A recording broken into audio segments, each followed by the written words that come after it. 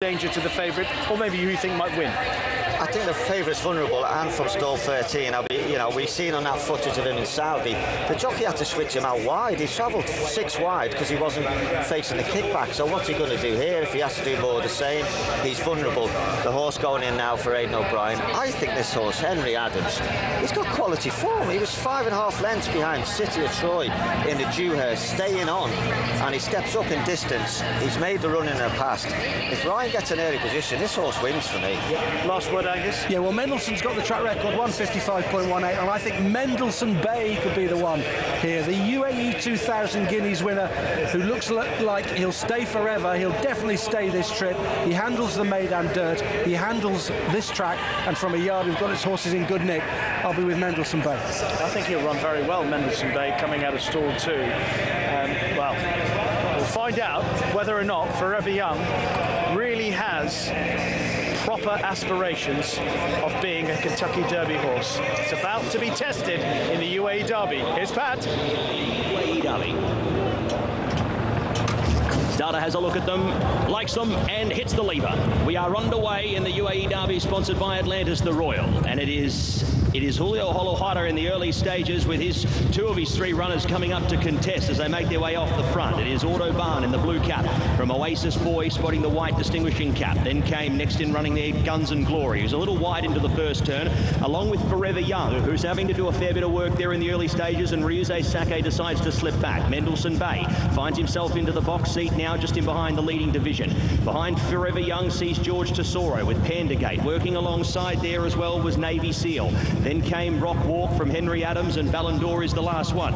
So out past the 1200 metres they go and the pace is okay. 8.55, 19.24 those early sections there for that first uh, early part. And up in front now taking over Oasis Boy. Heads over to the fence here from Autobahn in second. Then came Mendelssohn Bay. Sliding up Guns and Glory. Forever Young the international market favourite has been no better than three deep and punching the breeze the entire way so far. Then came Pandagate, Navy Seal opting to get on the right horses back here. Then came Ballon d'Or from Rockwalk and dropping away Henry Adams, who's getting further away from the field. Inside the 700 they go, and up in front, up on the running rail, Oasis Boy leads a narrow margin. I Autobahn goes up to apply a bit of pressure. Forever Young still travelling despite being deep as they make their way into the home stretch here in the UAE Derby. Then came Mendelssohn Bay, deeper out Navy Seal, not too far away Pandagate, still with four to pick up.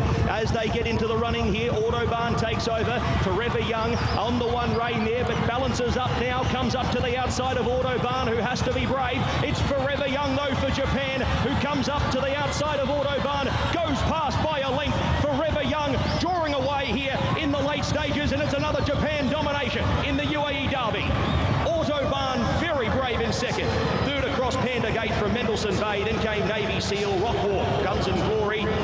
Crossing over the line there with Ballon d'Or and a long last dropping away Oasis Boy to cross over with George Tesoro. And the last one home, Henry Adams, who was pulled out of the contest. Oh, he is very, very good for forever young.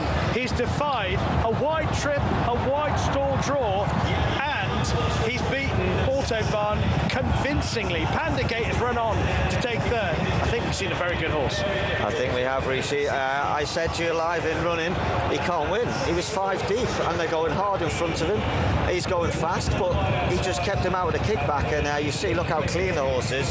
No sand in his face.